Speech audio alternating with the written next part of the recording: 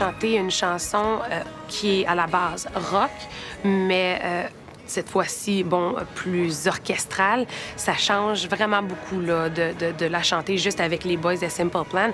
Normalement, on sauterait partout sur la scène, on se promènerait, puis c'est comme « yeah, rock ». Puis là, tout d'un coup, on est un peu plus dans la retenue, puis c'est beau comme ça.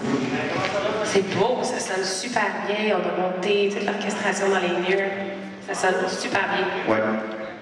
Je pense le mariage entre Simon